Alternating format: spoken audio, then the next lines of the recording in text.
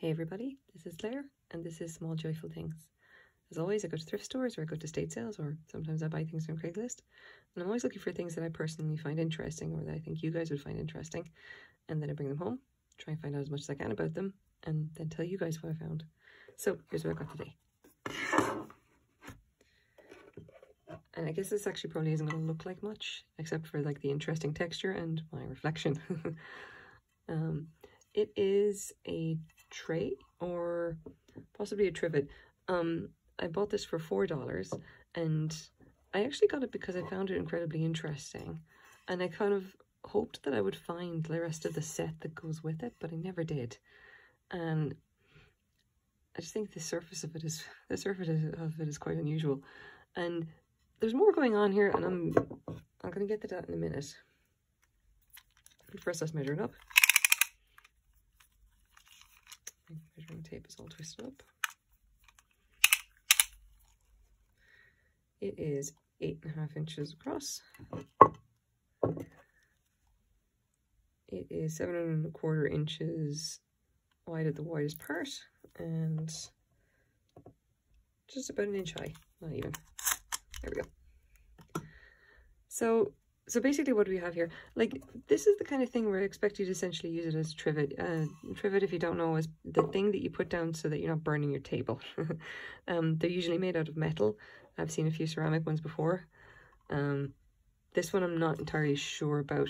I can't say for sure that it is a trivet simply because it doesn't, because it's got this kind of, this shape here that suggests that it might actually have some stuff that's supposed to sit here. That this could actually be a display for a set or something. And I just don't have the rest of the set. All I have is the actual little tray that it, it comes in, or, come, or it would have come on. And so the only other thing I can imagine it could be would be a trivet where like you put your, you know, you, it's big enough so that you could probably put multiple things down on it. Maybe you could have like, you know, a gravy boat and something else or large teapot, that kind of thing. Again, it is, because it's ceramic, you know, it's not going to burn your table. And it's kind of lifted quite nicely off the table as well. Um, it does have gold here, but it's unfortunately been worn fairly badly. That would have been hand painted, but yeah, not so much. There is quite a bit of crazing on it on the surface. The iridescence is quite nice, it's still intact, but the like you can't really, for something that's old, you can't really get away from it. And of course, we have a mark. But I'll show you that. Yeah, there we go. There's the crazing. That's just the way of it when you're talking about vintage stuff, unfortunately. So, anyway, what exactly do we know about it? And basically, apart from it just being interesting, I also got it because of this mark. This is obviously Wade's in England. And I was looking at this going like, this does not look like a Wade pottery mark. Um, I only really know of uh, like only one or two things about Wade pottery or Wade's pottery. Like obviously they've done a video recently on the on the little on the little Wade Whimsy. They're mostly known for that and for Giffer and everything. So this was kind of came out of left field and I thought there's got to be a bigger story here. There's got to be something else going on because that just does not really look like anything.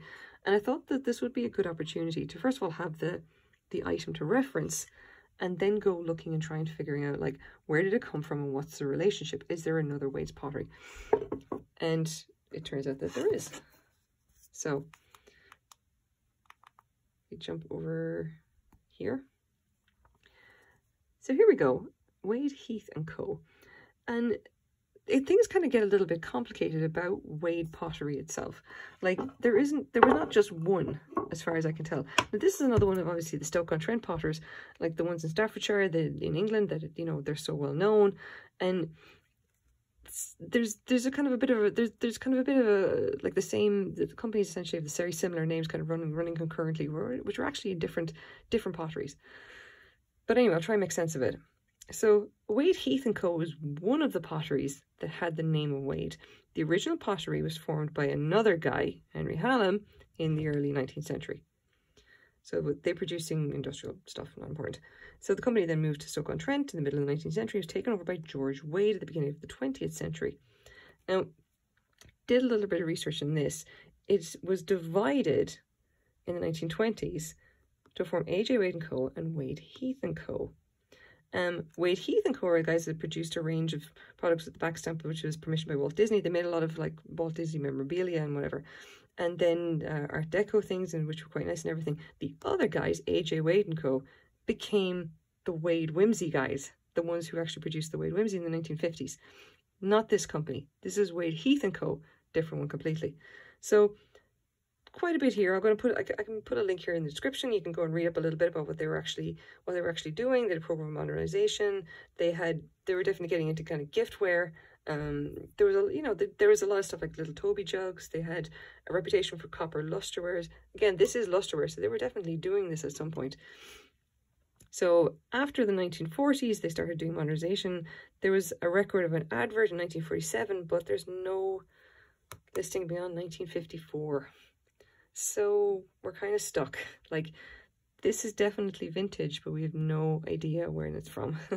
Not so far, anyway. We just know that, like, they were known for their copper lusterwares at some point around the Second World War. But have we got anything else to that? So, apart from that, I'll get back to that in a second. George Wade Pottery, these are the other guys. There's a whole entry here on them. Then obviously they became the Wade Whimsies. Um, I'll also put that in the description, just as long as you understand that we are talking about two different companies here. But this is the thing we want to see, antique marks. And what we have here, Wade Heath & Co. Limited, High Street Works, Burslem, Staffordshire, 1927 to 1938. And then the Royal Victoria Pottery in Staffordshire, whatever. Wade Heath, Wade's England with the Lion Mark circa 1927. That's great for us because basically looks like a dead ringer for that mark. Fantastic.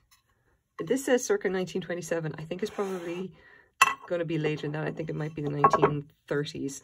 Because again, we know that they started getting a reputation for lusterware sometime around the Second World War. I'm going to say it's in that particular area, that kind of time zone. But I mean, that's really great for us. It's like we do have a little, a little kind of an interesting little object of history and it kind of is part of part of the story of Wade Pottery. Though you have these two different branches of the same company, one of which is dealing with things like the Wade Whimsies that really became like a like a household name and would have actually been quite well known and everything. And then you've got these other guys who, as far as I could tell, vanished in the 1950s after you know, they, they definitely did produce stuff. They had some really nice things. They produced an entire range of stuff for Disney and then just kind of vanished after the Second World War, like a lot of companies did, unfortunately. Still, we have this. Considering I bought it for four dollars, I actually don't really know what else I could redo with it. I'm not. I did actually check, and I don't think there's a market for them. So I did up eBay. I should have actually mentioned this. And I did a quick look to see Wade Heath or what kind of stuff actually sells. And it, to be honest, it's this kind of stuff is mostly their patterns and the Art Deco wear that they did, that they became very well known for. Some of their Art Deco stuff, like say that is absolutely phenomenal. The the little kind of like bird jugs come up as well. They're lovely. I cannot get over that. That's so so cool. That's that's entirely my jam. But yeah, you can see there's a bunch of like the like these the, the yeah the flax the flax ones they came up as well in the in the, the the company profile as well as being something that's quite popular. That their Art Deco stuff, not so much the piece that we've got. I don't think. And the prices are kind of, you know, kind of all over the place. For something quite nice, very Art Deco, you're going to get up to like, let's say you're going to your 40 $50. Not what we have, unfortunately. So, so what's the story with this? I would say it's probably worth about $4 at most. Um, doesn't seem to be much of a, like, much of a market for it. It's nice, I have to say, and I'm glad that I found out something about Wade Pottery now. Um, it, I've definitely had my curiosity satisfied in that respect. I'd say I'm probably going to be sending it back to the thrift store. Hopefully someone will find the rest of the set, put it together and be able to enjoy it. You know, as it is, I don't think I can do really much else with it other than learn something and be happy that I found it. So here you go. This is my small joyful thing for the day. Thank you very much for watching. Bye-bye.